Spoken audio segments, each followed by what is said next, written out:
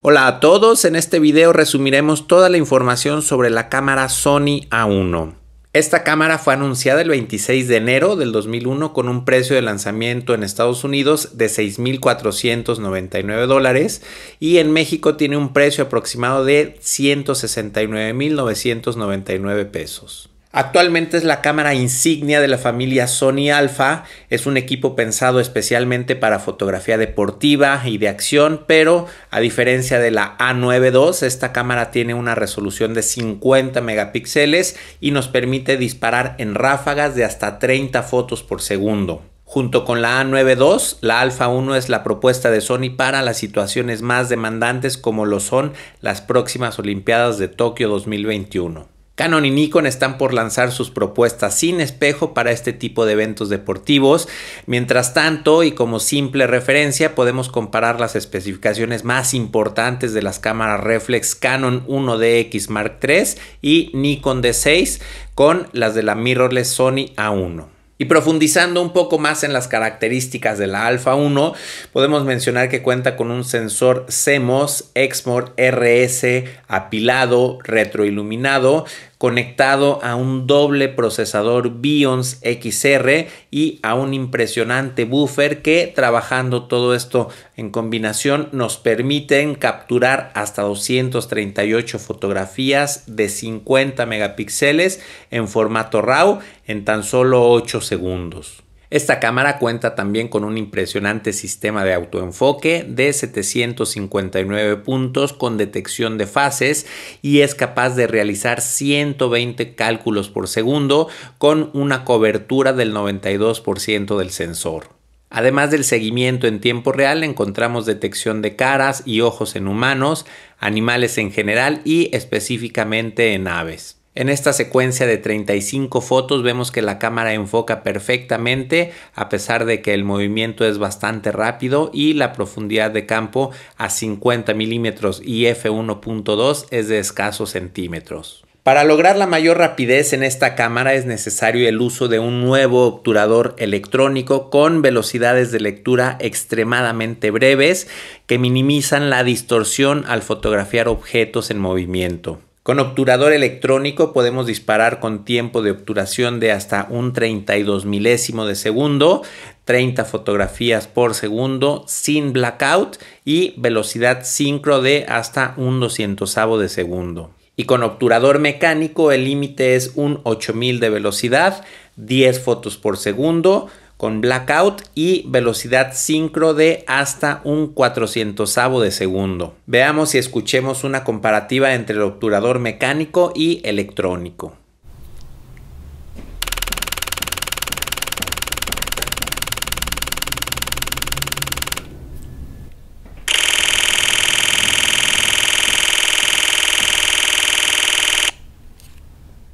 Esta cámara tiene doble ranura para tarjetas de memoria y puedes usar tarjetas SD tradicionales, aunque si quieres el máximo desempeño se te recomienda el uso de tarjetas CF Express tipo A. Para algunos formatos de video es requisito mínimo el uso de tarjetas SD B60 y en algunos casos B90.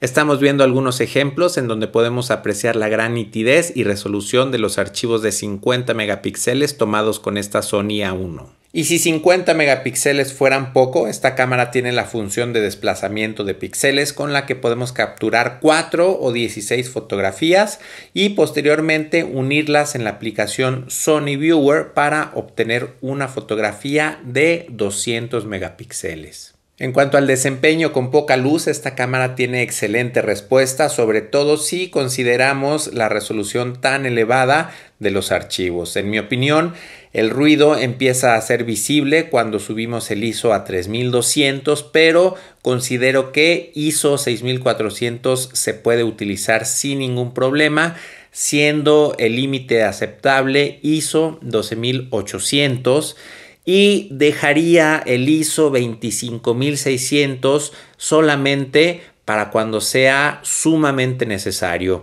Eh, visiten mi blog para ver y descargar archivos RAW de ejemplo a distintos ISOs. El rango dinámico de esta cámara es bastante bueno y podemos recuperar sin ningún problema detalle en altas luces, tonos medios y sombras siempre y cuando expongamos a la derecha de nuestro histograma. Aquí vemos algunos ejemplos con el archivo como salió de cámara y editado recuperando información en sombras y altas luces. El estabilizador incorporado o IBIS es de gran ayuda incluso en lentes sin OSS. Eh, podemos ver un par de ejemplos con un lente 50 milímetros a un treintavo de segundo y a un quinzavo de segundo. Con un lente 14 milímetros logré fotos estables a un octavo, un cuarto y con cuidado extremo y después de varios intentos a un medio y un segundo de velocidad. Obviamente con la cámara en mano, sin ningún tipo de apoyo o tripié. En el tema de video, esta cámara nos ofrece gran variedad de tamaños, codecs, tasas de datos, muestreo y profundidad de color. En esta tabla podemos ver todas las opciones posibles. Actualmente la Sony A1 es la mejor opción de la familia Alpha para grabación de video, ya que es la única que nos permite capturar con resolución 8K.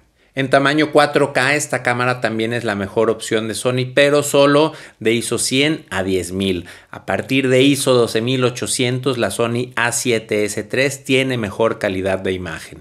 Con el perfil de imagen S-Log 3 podemos lograr un rango dinámico de hasta 15 pasos.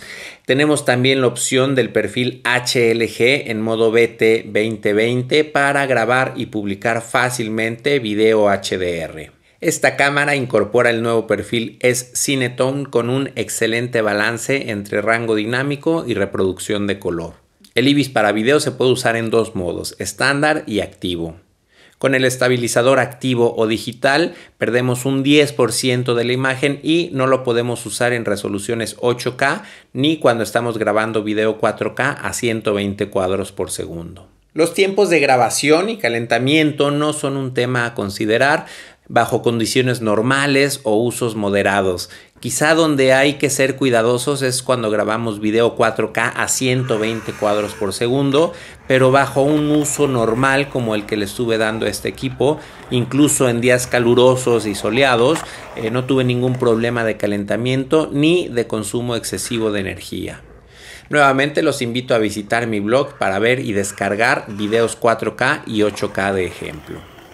En cuanto al diseño y características generales, encontramos una pantalla táctil de 3 pulgadas y 1.44 megapíxeles de resolución. Es una pantalla semiabatible. Eh, también la cámara tiene un visor electrónico con una super resolución de 9.44 megapíxeles y podemos ver la imagen a 240 cuadros por segundo con un acercamiento de 0.9x. Tenemos conectividad Wi-Fi 2x2 MIMO y Ethernet 1000 base T para transferir rápidamente nuestras fotografías a una computadora o subirlas a un servidor FTP o para visualizar en tiempo real y controlar de manera inalámbrica nuestra cámara, por ejemplo, cuando estamos haciendo fotografía de producto. La Sony A1 sin lente pesa 737 gramos y existe una empuñadura opcional para disparo vertical con dos baterías que bueno esta batería también ayuda a disipar el calor y mejora los tiempos de grabación en video. También tiene un puerto USB-C generación 3.2 para transferencia rápida de datos y este mismo puerto se puede utilizar para transmitir energía a la cámara. Tenemos una zapata inteligente en donde podemos colocar un flash o un radio. Eh, también Sony ofrece micrófonos que se alimentan directamente de la energía de la cámara y graban directamente sin necesidad de cables. Y también existe una interfaz de audio en donde podemos grabar hasta cuatro canales, ya sea a 16 o 24 bits.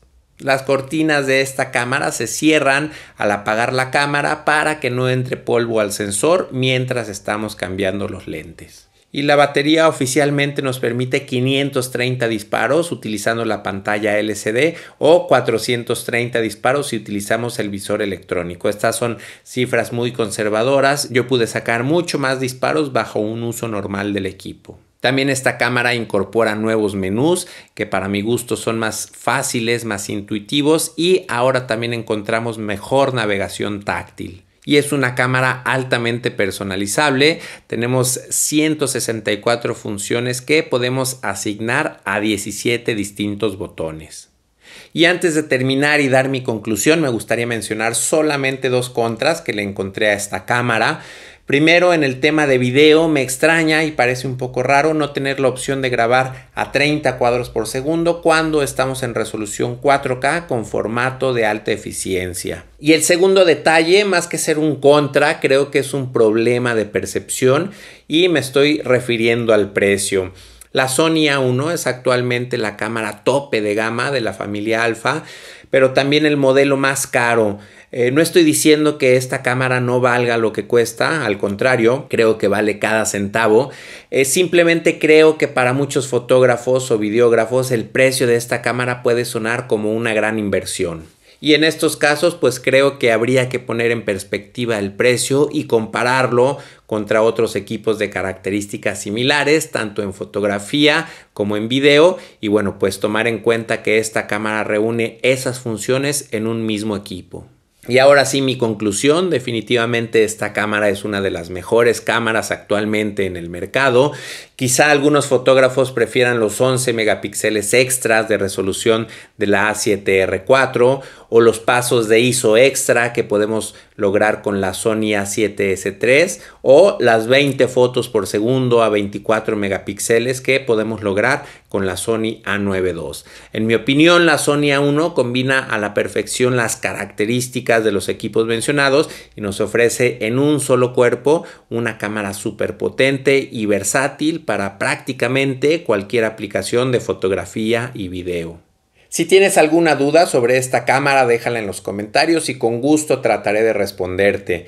Yo me despido esperando que este video haya sido de tu agrado. Muchas gracias por tu atención y hasta la próxima.